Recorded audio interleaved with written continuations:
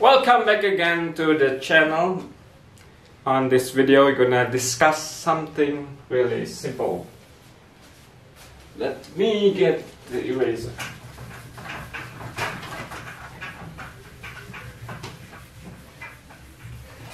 Okay, so what we're gonna do is we want to see some pattern regarding a number that can be expressed as a sum of two squares. So let's list several of them. 1 squared plus 2 squared is 5.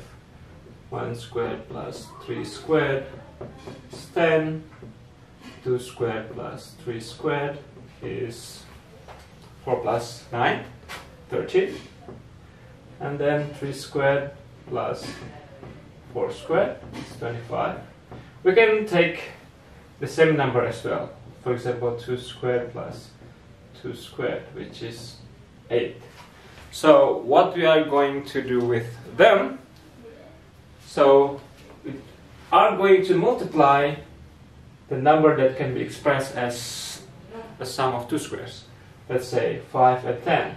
If we multiply 5 and 10, we have 50, but 50 is 5 squared plus 5 squared.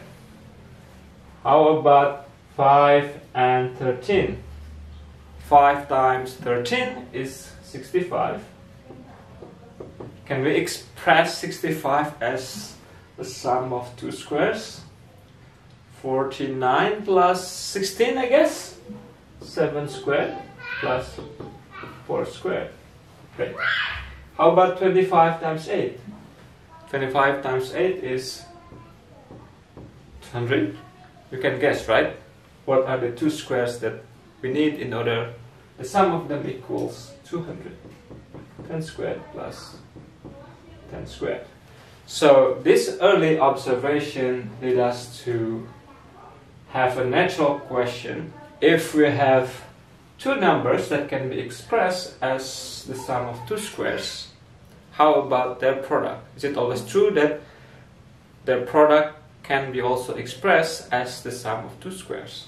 So, in other words, if we have a squared plus b squared times c squared plus d squared, is there any, are there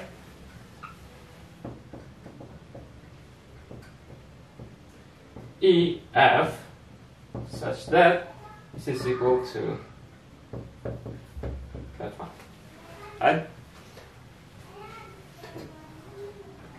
If we can always express E and F in terms of A, B, C, D, then the statement that for any two numbers that can be expressed as the sum of two squares, then the product is also can be expressed as the sum of two squares. Okay? So we're gonna try to solve this. We are trying to find E and F such that left hand side is equal to the right hand side. Okay.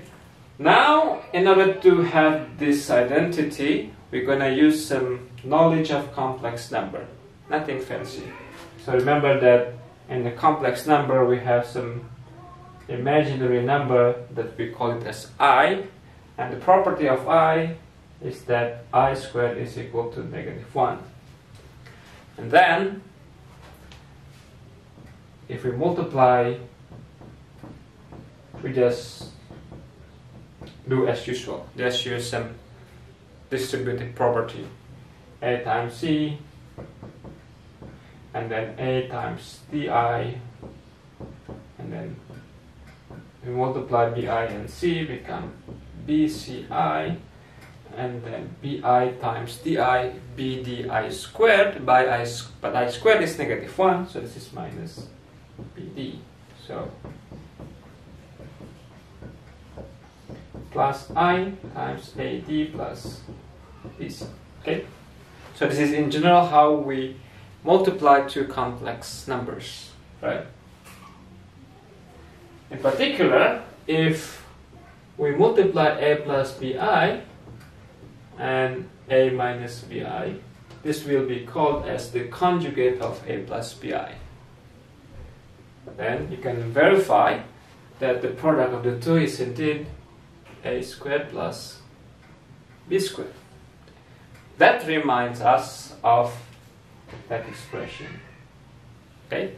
So then, the left hand side can be written as a squared plus b squared times c squared plus d squared is a plus bi times a minus bi. That's for a squared plus b squared. And then for c squared plus d squared, we can also do the same. We have c plus di times c minus di. Okay. Now we will swap the two between this and that. So we have a plus bi times c plus di. A minus bi times c minus di. And then we multiply these two together. Okay? So what do we get? AC minus BD. Okay? And then the one that contains I is AD plus BC. Okay? On the other hand, will be easy to verify that the result will be AC minus BD minus I AD plus BC. Okay? But if we call this guy as X and this guy as Y, this is X, this is Y. So this is something of this type, X plus YI times X minus YI. And the result is X squared plus y squared, where the x is ac minus bd, and then the y is ad plus bc squared. So in general, we conclude that the product between a squared plus b squared and c squared plus d squared is nothing but this.